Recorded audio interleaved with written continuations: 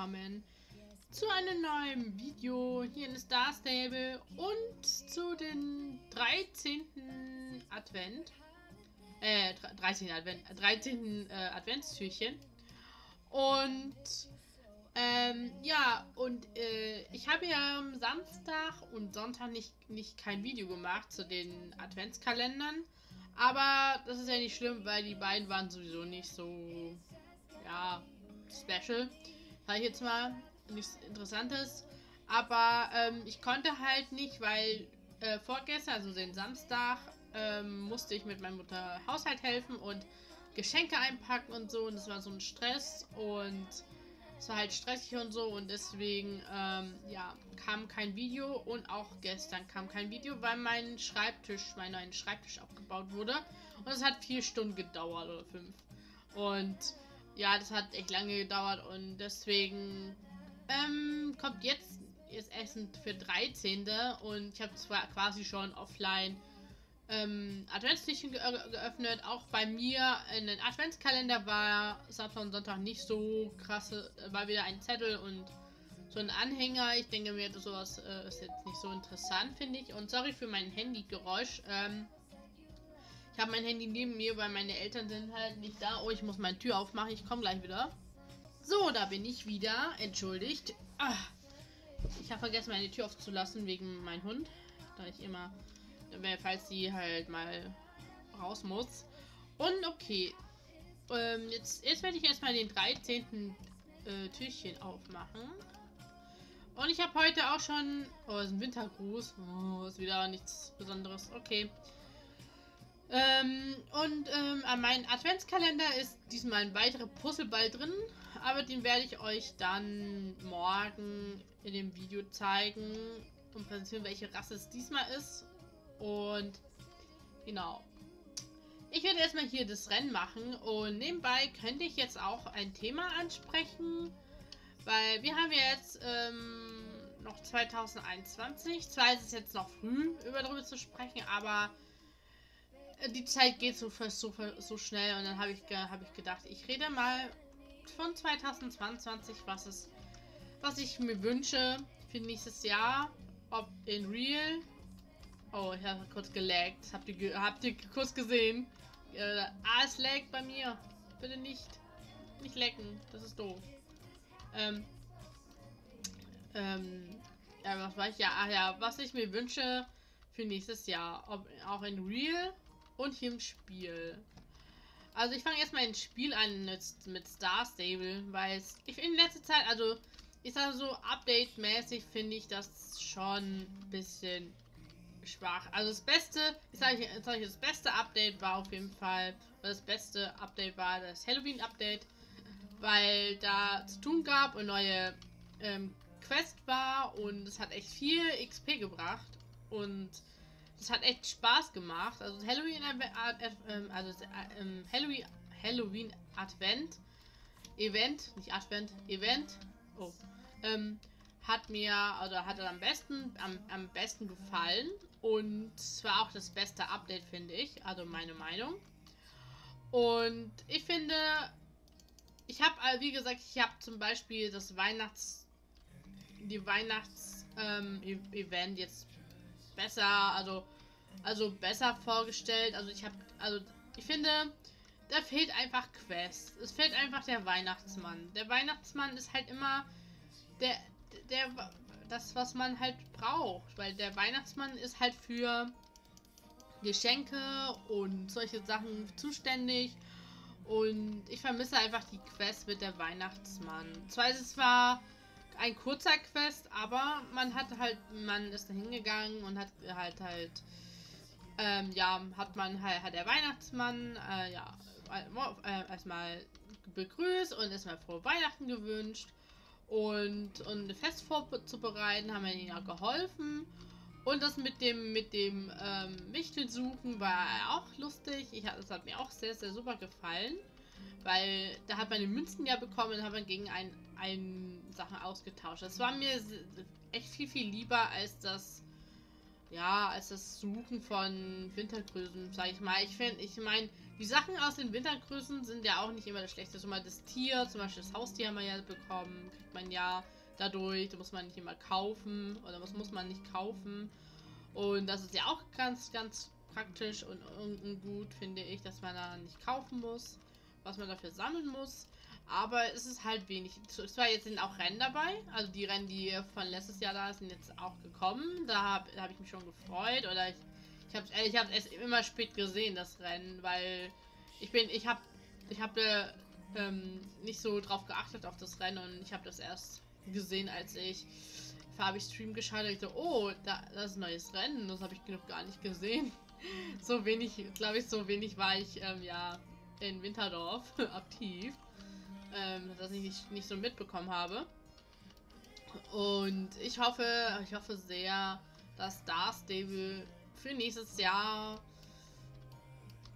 wieder die Events wie früher. Also ich wünsche mir echt, dass die Events von früher wie Valentinstag, Ostern, das ist mit dem mit dem mit dem Regenbogen, also mit dem mit dem Kobold, mit dem Gold, wo du die Goldsachen suchen musst und irgendwann kommt da Kobold doch, Kobold und ja, da musst du die für ihn das Gold suchen und dann hast du auch da Items bekommen und das fand ich, das vermisse ich schon, die Quest. Also die Quest, was früher ähm, mal war, vermisse ich einfach. Klar, das ist, ne? Ja, ich, ich, ich, ich ähm, das hoffe ich halt sehr, dass Starstable vielleicht mehr Quest, also ich finde, finde auch, ähm, also das Einzige, was ich auch, auch gut finde von Starstable ist, dass die Design, also ist jetzt Geschmackssache, wie, wie es einem das ähm, Design hier gefällt.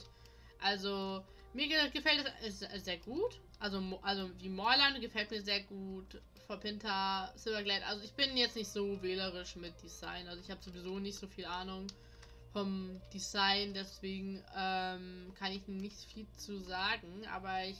Aber was es mein Geschmack ist, ich finde.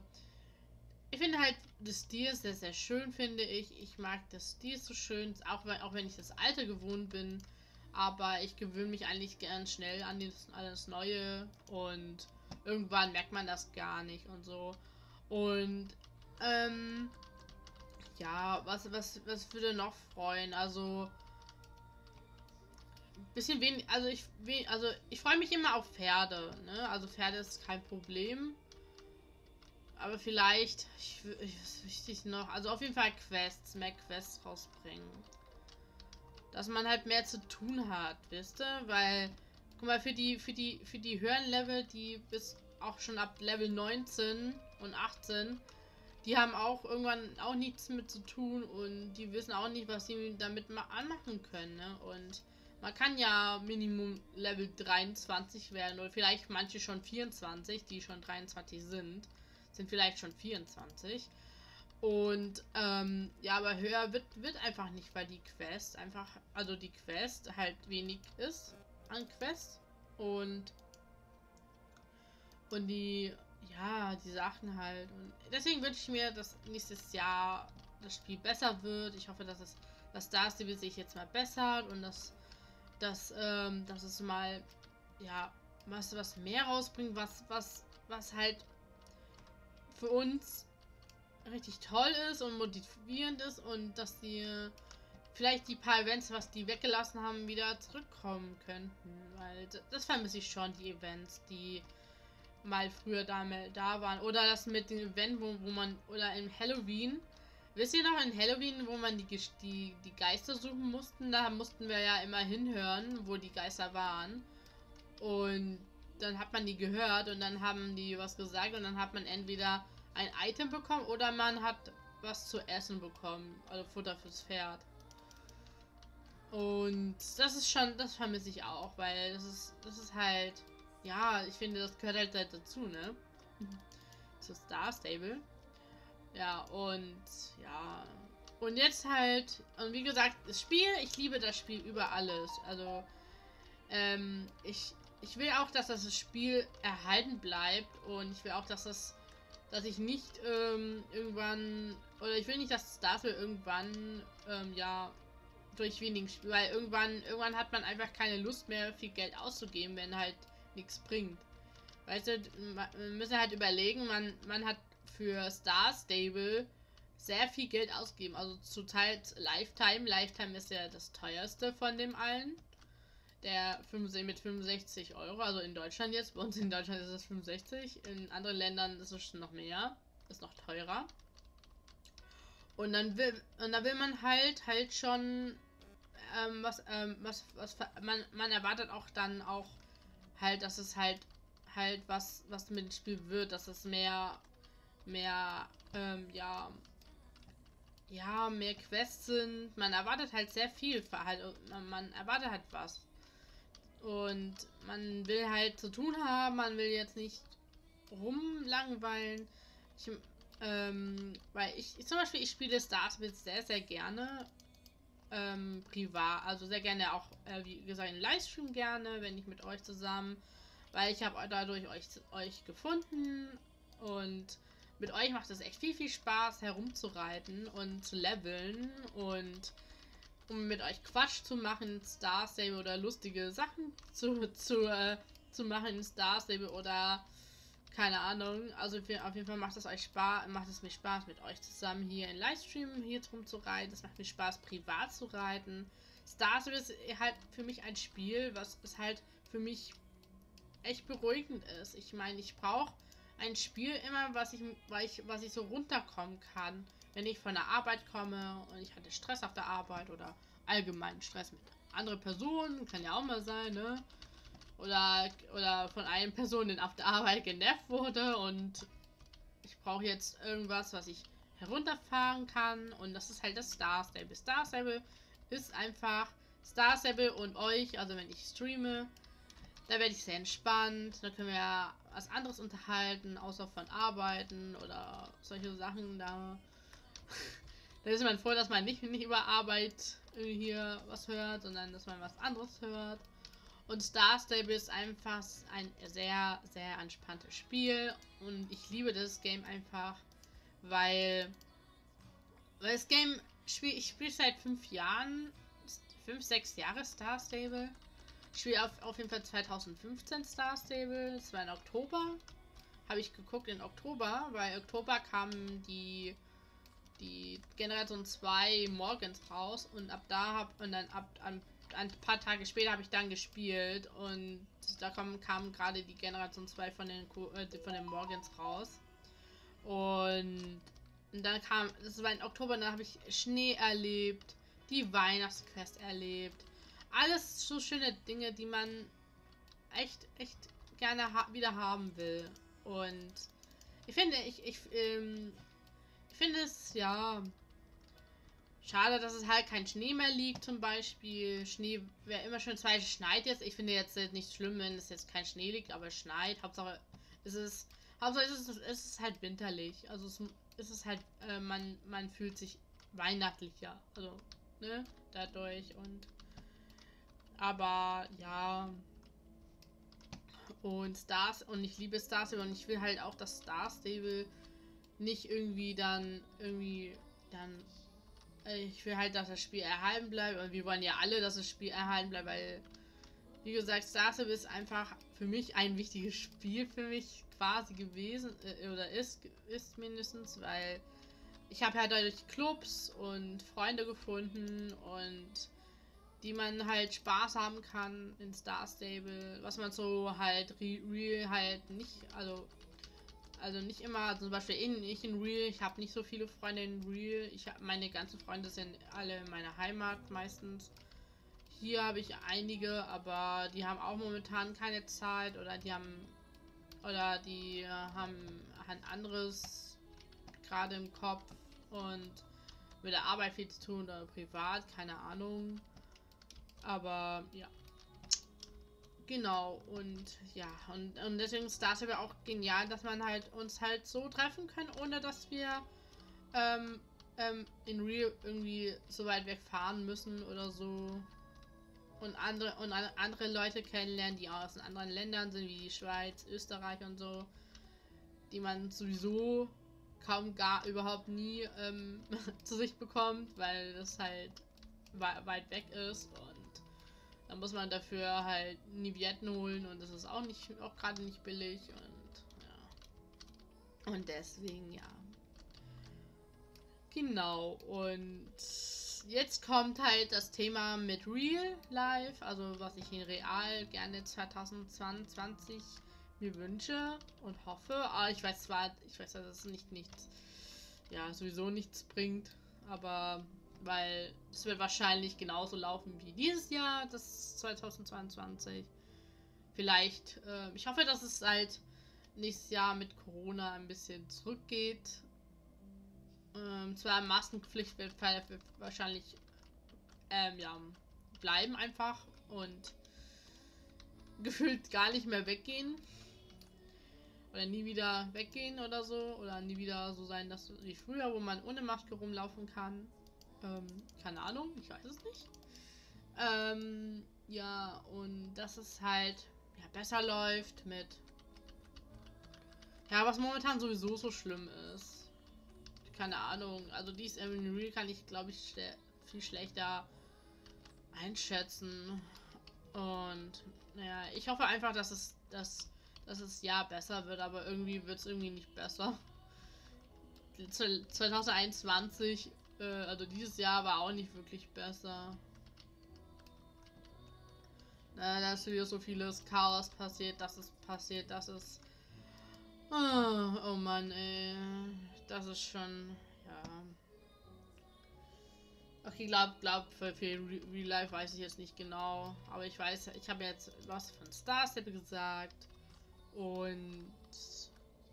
Ja, ich denke, dass ich erstmal kein kein ja, Wunsch mehr habe. Also das Positive an Star ist, finde ich das Spiel richtig toll. Ich liebe das Spiel und ich werde weiterhin spielen und solange Club und Freundeschat und so gibt und solche Sachen, wenn man das mit Club machen kann und halt noch, äh, dass ich noch live streame und so, werde ich und wird Star Stable auch für immer bei, bei mir bleiben, weil 65 Euro ist mir echt viel Geld und auch das ganze Starcoin, wo ich mir gekauft habe, privat immer und ist mir auch viel wert und ich werde äh, ich ungern mit Star aufhören müssen, wenn es halt nicht so richtig rund läuft, weil es steckt eigentlich sehr, sehr viel Geld drin und das schmerzt mich einfach zu sehr, wenn ich das machen würde.